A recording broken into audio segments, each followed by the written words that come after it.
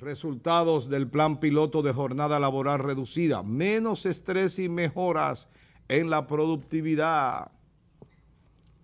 El Ministerio de Trabajo y la Pontificia Universidad Católica Madre y Maestra Pucamaima presentaron ayer los resultados del plan piloto de semana laboral reducida desarrollado en el primer semestre del 2024.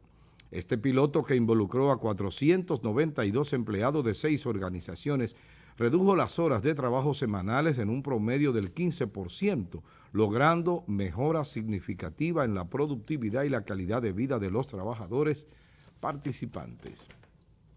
El plan piloto que incluyó a entidades como Edenorte, Ejejaina, Ergotet, Inca, el Sistema Único de Beneficiarios CIUBEM y el Seguro Nacional de Salud SENASA, demostró que la reducción horaria no afectó las metas estratégicas ni operativas. Según los resultados, se lograron los objetivos empresariales en un 91% de los casos y casi siempre en un 9%, indicando que la eficiencia laboral se mantuvo alta. Además, el 96% de los supervisores consultados afirmaron que no se necesitaron más recursos para mantener las funciones habituales. La evaluación técnica de la PUT Camaima reveló que 95.3% de los trabajadores reportó una mejora en su calidad de vida, mientras que el 93.8% aprovechó el tiempo adicional para otras actividades personales y familiares. Ahí están las imágenes, ahí está la información. Vámonos entonces a la pregunta. ¿Cree usted que la reducción de horas laborales podría aplicarse de manera efectiva a la empresa en República Dominicana? Ahí está la pregunta, háganos el feedback 829-451-3381, nuestra vía de comunicación a través de la red social WhatsApp. Allí le vamos a leer su comentario, su respuesta a la pregunta. Carolina, adelante. Muy bien, hemos visto en, algunas, eh, en algunos países, sobre todo en los más desarrollados, donde se ha implementado de manera satisfactoria es lo que se ha entendido según las declaraciones que ofrecen por allá. Más cercanos a nosotros, países como Colombia, eh, a través de una ley, la reducción solo en principio de a 44 horas, me parece, a 40, las reducieron para ir de manera eh, sistemática para el 2025 y reduciéndola a un 30, a unas 37 horas, me parece. 36. 36. Eh, otro de los aspectos que deberíamos también nosotros destacar acá es que en principio cuando se plantea esta iniciativa en el país desde el Ministerio de Trabajo, que es la institución que regula todo lo que tiene que ver con las normas y leyes laborales en la República Dominicana, eh, le hacía la solicitud a las empresas de el apoyo y que se unieran a este plan piloto que inició con algunas empresas generalmente o instituciones públicas y algunas privadas. Eh, el empresariado está de acuerdo, al menos en la teoría, habría que ver qué se, qué se daría en el momento de que se busque aplicar en la República Dominicana una jornada laboral reducida. Ellos se plantean o plantea el empresariado que si todo lo que sea que tenga que ver para la mejora del personal, de los empleados o colaboradores, mejoría en la calidad de vida y mayor productividad, se supone que es mayor ingreso para las empresas y es lo que se busca, que estén todos contentos, producimos más, tenemos más descanso, podemos tener más tiempo con nuestra familia. Dentro de esto para nada se estipula la reducción del salario, o sea, eso no está en discusión según lo planteado y la manera en que se ha dado en algunas naciones. Ahora vamos entonces a entrar al aspecto de nuestro país y del tema que tiene que ver con la cultura, la educación, el nivel de informalidad que se vive aquí. Creo que es el punto principal que debería de estar tratándose desde las instituciones correspondientes. ¿Cómo tú haces acuerdo? ¿Cómo tú logras que se den cosas cuando tú tienes un porcentaje altísimo de micro, pequeñas y medianas empresas en la informalidad? ¿Cómo el ministerio se acerca? ¿Cómo la ley puede caer? o que se aplique con ese nivel de informalidad que nosotros tenemos. En este país hay tantas cosas que hay que, que prestarle atención. No es que esto no sea importante, es importantísimo, porque en la medida que tú tienes un personal eh, contento, que tienes un personal descansado, que se siente satisfecho, tú tienes mayor productividad. Eso no nos podemos eh, dejar de lado ni, ni quitarle la importancia que tiene. Ahora, como gobierno, como gobierno, nosotros podríamos plantear un solo tema que tiene muchísimo que ver en la calidad de vida del empleado. Perfecto Vamos a hablar del salario mínimo para las pequeñas empresas, para las microempresas. Anden los 3 o 15 13 mil y pico de pesos, 15 mil. Ese es el estándar de las pequeñas. Mi estimado gobierno, mi estimado Ministerio de Trabajo, ¿eso se puede relacionar con calidad de vida? Cuando la canasta anda en los 40 mil pesos todo el que es empleado, todo el que es trabajador, si se le habla de reducir o de reducción del costo de la vida o de mayores salarios, que según los economistas no es lo que resuelve el tema de la inflación o de tu poder tener mayor posibilidad de adquirir cosas, el aumento de salario. Pero cuando aquí se le planteen dos temas, ¿qué usted prefiere? ¿Poder comprar más con los 13 mil o 15 mil pesos que usted gana o trabajar menos? Porque tú no puedes comprar las cosas que tú necesitas en tu casa con el salario mínimo que oscila entre los 13 mil, creo que 14 y algo subió ahora, o 15 mil pesos. Para mí, o sea, yo entiendo que uno de los temas principales que se deberían de estar resolviendo en este, en este país es el alto costo de la vida o cómo mejorar la calidad de vida, no solo de los empleados, sino en sentido general de los dominicanos, pero empieza por la persona que produce, que trabaja, que es la que está en las empresas informalidad, salarios pírricos, y estamos pensando en un tema importantísimo, pero es más fundamental resolver estos temas. Bien. Gracias, Carolina. Allí, adelante. Bueno, resulta sumamente interesante eh, esta propuesta y este inicio de este plan piloto. Pero si nos vamos al meollo del asunto, Estamos hablando de una reducción en horas laborales. No significa que usted va a trabajar menos, sino que en menos tiempo va a hacer lo que hacía en más tiempo. Eh, quizás se habla de, que, y vemos los resultados todos muy positivos, muy buenos, pero no estamos viendo las personas que han estado trabajando durante esa reducción de tiempo. No sabemos qué tan estresada ha sido ese tiempo más corto para ejercer esa función para la cual estaban contratados. Entonces, esto es peligroso cuando hablamos de que estamos viviendo en una sociedad que en este momento eh, se habla y se cuestiona la salud mental del dominicano. Entonces, si le cargamos a esto mayor cantidad de estrés, ¿qué va a pasar? con la persona, con ese ciudadano que se levanta a trabajar, que se le hizo una reducción de su jornada laboral, pero que tiene que rendir igual o quizá más a lo que hacía anteriormente. Eh, se dice que no va a haber una reducción del salario, pero yo me imagino Conociendo al dominicano y con el nivel de informalidad allí que tenemos, ¿tú crees que no se lo van a reducir? No solo eso, Carolina, que lo que siento es que Quizás a los que están contratados no se le hará la reducción porque la ley es muy, muy clara con relación a tu salario. O sea, tu salario no se puede ver afectado. Aún muchas cosas puedan suceder, tu salario es algo sagrado que el empresario debe de respetar o la persona que te contrata. Pero, ¿y aquellos que no han sido contratados, que van a ingresar a trabajar con un sistema nuevo con menos horarios laboral, ¿le irán a pagar igual que aquel que fue contratado con las 44 horas? No lo creo. Ahí es donde yo me cuestiono. No creo que sean tan bondadosos y tan generosos los empresarios dominicanos como para pagarle igual a un ejerza la misma función y en el mismo tiempo.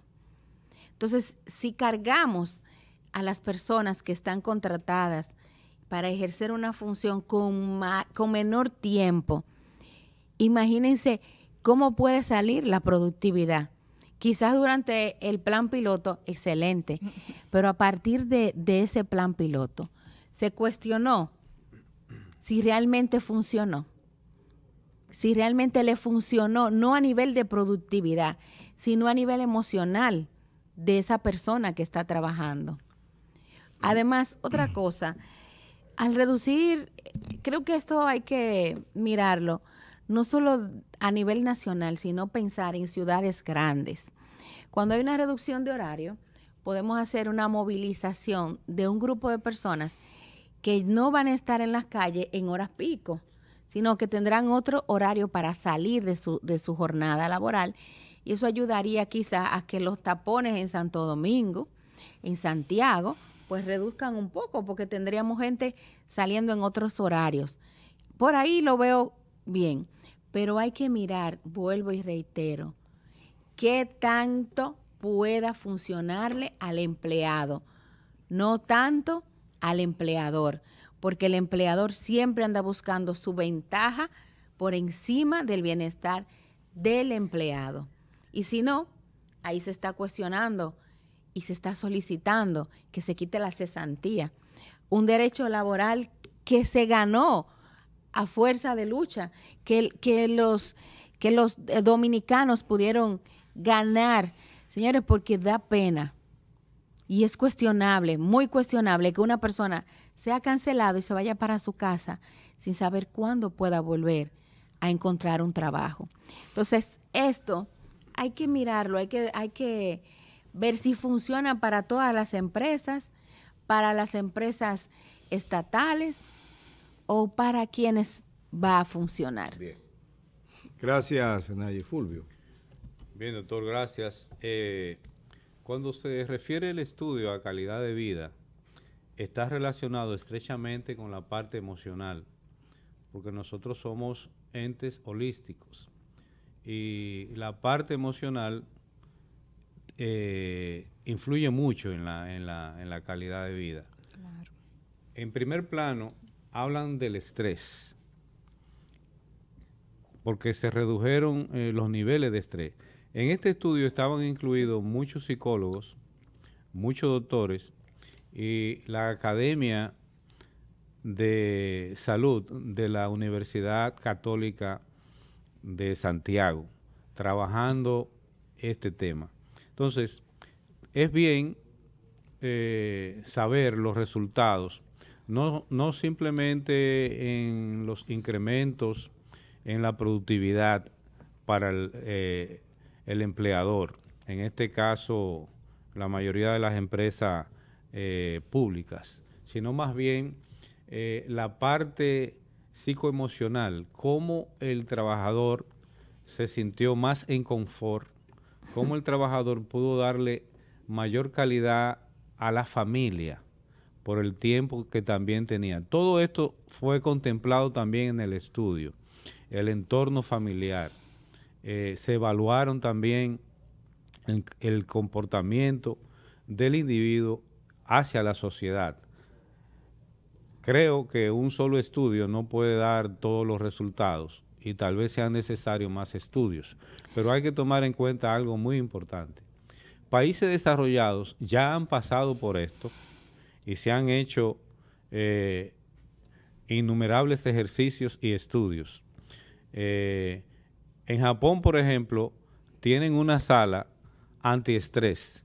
Ahí en esa sala le dan a los trabajadores un bate para que le caiga batazo a cierta cosa, le dan, que ellos tienen la tradición, platos para que lo extrayen y los rompan. Mm.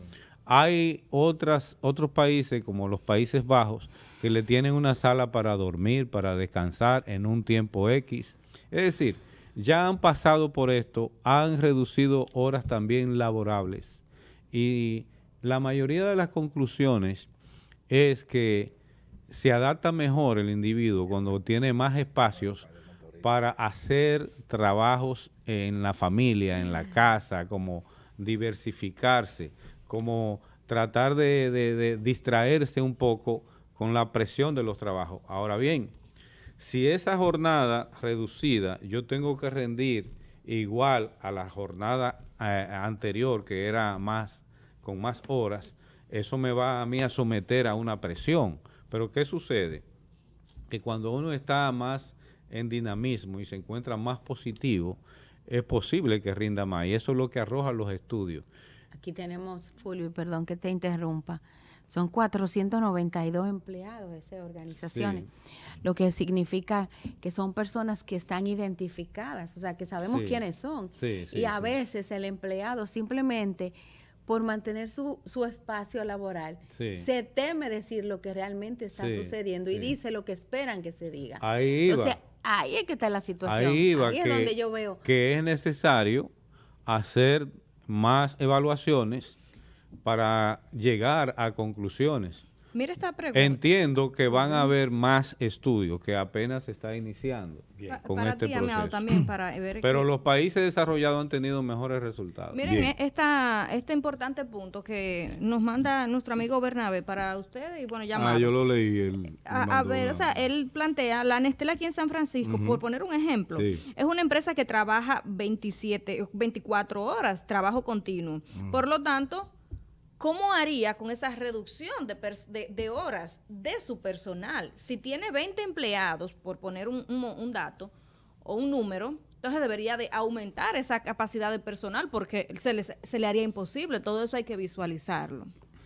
Mire, hay una situación acá y es que me pregunto, ¿estaremos nosotros preparados en este país para una reducción de jornada laboral y que eso no afecte ni los salarios de los empleados, tampoco afecte la productividad de la, de la empresa, ni tampoco afecte la salud del empleado. ¿Estaremos preparados para eso? Y lo que hice fue averiguar cuáles son los países del mundo en el cual se ha aprobado esto. Y le voy a leer una lista que envía a la tablet, José, si me puede mostrar la imagen.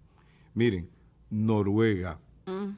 Finlandia, Italia, Japón, España, Austria, Eslovaquia, Portugal, Bélgica, Israel, Grecia, Corea del Sur, Nueva Zelanda, Australia, Francia y la República Checa.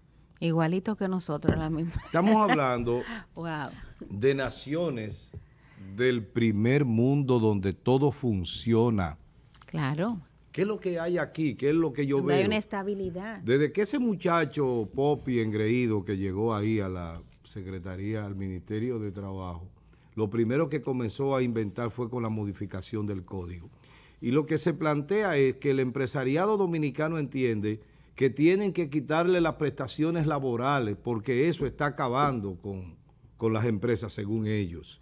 Y entonces lo que quieren es crear un fondo del Estado para que ese fondo, parecido a lo que pasa en Estados Unidos que la gente colecta, eh, con la finalidad de quitarle al empresariado y cargarle al Estado. Un Estado que tiene una carga hasta aquí, porque aquí no las cosas no funcionan como deben funcionar, funcionan un día, pero al otro día ya cuando llega un nuevo gobierno... Y por amiguismo también. Sí, tiene, hay muchas cosas por, por las que las cosas no funcionan o funcionan, que no son exactamente las que deben ser, sino es el ser, no el deber ser.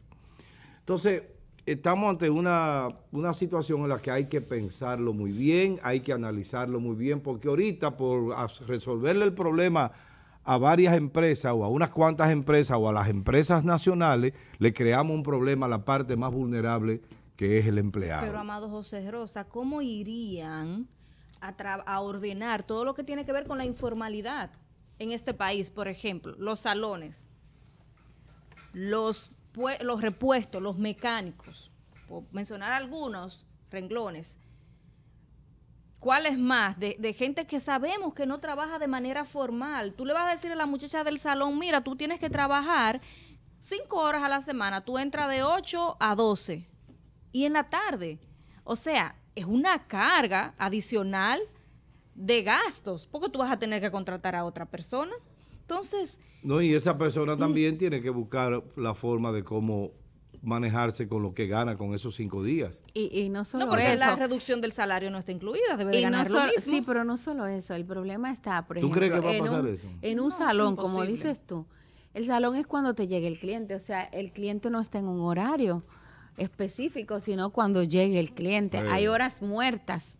Entonces puede ser que tú tengas un empleado con tres horas muertas y a la hora que te llega todo el cliente, yo me tengo que ir. Tiene que ir. me tengo que ir y hay que dejarla ir. ejemplo, tú tienes uno de servicio al cliente, tú vas a tener que contratar mínimo otro. Entonces, es importante que no le pase al gobierno como pasó eh, por ejemplo, con el tema de las domésticas, ¿se causó o se armó un revuelo? ¿Y dónde está? Mira, el tema de Bernabé, Antes que, de plantear las que lo plantea, plantea, pone como ejemplo la Nestlé, que tiene tres turnos para poder cubrir 24 horas al día que, que trabaja la Nestlé. Y entonces resulta, dice él, que si esos tres turnos se reducen, Nestlé tendría que contratar entre 40, 50 o 60 empleados nuevos. ¿Estará dispuesto Nestlé a hacer ese sacrificio por el país? No, y no es un tema empresarial, no es un asunto de sacrificio, es de tú, de costos. Por eso te está, te, estoy, te está aumentando el, el costo. Tal vez hay, Señores, y hay, hay empresarios que sí, tal vez hay, pero lo más son que no. Exacto. el tema está que es un estudio. Eh, señores, y tenemos, hay que hacer más estudios. Y tenemos, tenemos, lamentablemente, tenemos funcionarios públicos que no van a las instituciones públicas por la jornada completa. Imagínense a la hora de la reducción, no tendremos eh, ningún tipo de servicio en muchas empresas públicas y muchas instituciones públicas. Hay gente que el, el horario para entrar a las empresas es a las 8 de la mañana, algunas abren a las siete y media y sin embargo, usted llega y a las 9 todavía no ha llegado el incumbente, nueve 9 y media, 10 de la mañana. fíjate, y se supone que hasta las 2 Hay que pensar una cosa, en esa lista de países que yo mencioné, cuando un empleado se enferma, va a un hospital público y lo atienden en condiciones mejores que si fuera el Homs de Santiago. Ustedes me entienden lo que le quiero decir. O sea, si bien yo estoy reduciendo mi horario de trabajo, pero cuando necesito de la mano amiga del Estado porque me enfermé o porque o tengo un muchacho en la escuela y le dan una educación eh, eh, de principalía. Tengo todo eso garantizado, pero aquí qué cosas tenemos garantizado. Hasta el transporte ¿Qué cosas tenemos garantizado en este país? ¿Me entienden? O sea, esto no tiene, este es un país donde no hay... Pero te estoy hablando un punto neurálgico de toda la sociedad un país en subdesarrollo lo que tiene que ver con el pago del salario y el alto costo de la vida. O sea, tú tienes un nivel de disparidad que es imposible que tú, estando en tu casa, tú estés tranquilo. 14 mil pesos frente a 35. Yo creo que el primer problema en este país y que el Ministerio de Trabajo debería de estar enfocándose es en mejorar la calidad de vida de los empleados y de todo el que trabaja desde ese punto de vista. Carolina. De los salarios, de que la canasta vale 40 mil pesos el primer quintil y que son muy pocas las familias que a través de un trabajo en una micro o mediana empresa puedan tener e, esos ingresos a su hogar. Yo creo que esa es la labor en que el ministerio, en conjunto con los empresarios, con el gobierno, con Proconsumidor y con todo el que tiene que ver con los costos de la vida y la parte laboral, deberían de estar enfocándose aquí.